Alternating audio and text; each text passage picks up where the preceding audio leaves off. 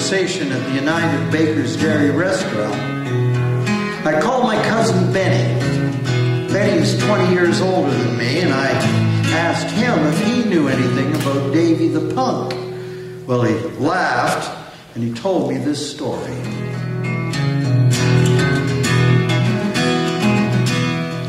I got married in June of 1942, and your cousin Tevye got married two days later. We decided that the four of us would honeymoon together in New York City, where we could see Joe DiMaggio and the New York Yankees. They had a game against the Detroit Tigers and their great Jewish star, Hank Greenberg. My father in law said he'd give us his car for the trip. This was a very big deal for four young, just married kids. I was still in university. Tevye was an apprentice plumber. We were as poor as church mice and about as naive. I figured we'd just walk up to Yankee Stadium and buy tickets in the bleachers. That's how much we knew. But your Uncle Hy set us straight. But then he said, if the one person who could get tickets was Davy. Well, I have to tell you that I was reluctant to call your father. Your father was not a friendly man. And we all knew he had some shady connections.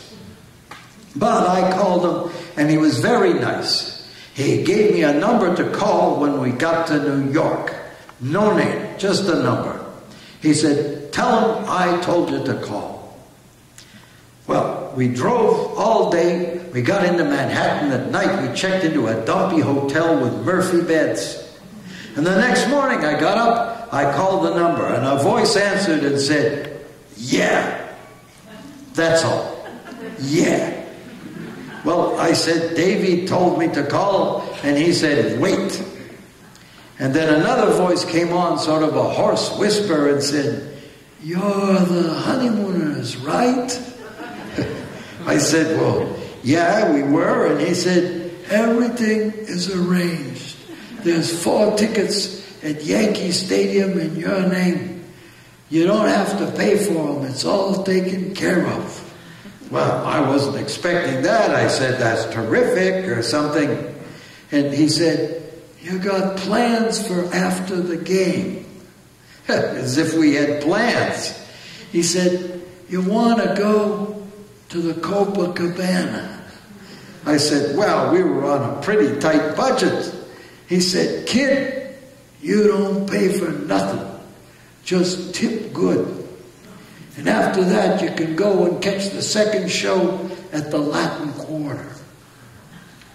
Well, that afternoon, we got on the subway, we went out to the Bronx, we went up to the stadium, picked up the tickets. They're in the fourth row behind third base, right behind where the president sits for the World Series. Hank Greenberg hit a home run.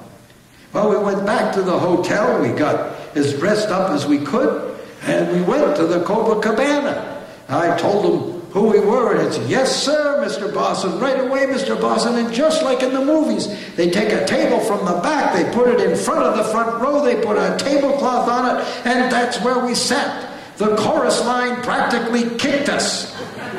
Sophie Tucker sang right in front of us. Well, a few years go by, and I'm home, I'm watching TV, I'm watching the Kefauver hearings on television.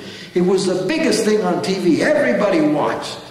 Senator Kefauver was grilling these gangsters and crooked politicians. And all of a sudden, I hear a voice I recognize. I called up Tevye right away. I said, Tev, on the TV. It's a guy, the guy we got the Yankees tickets from.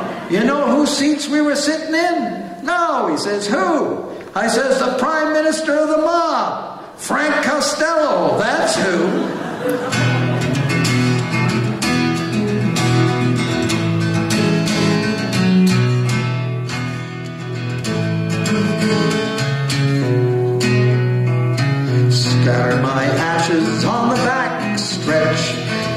My bequest and donation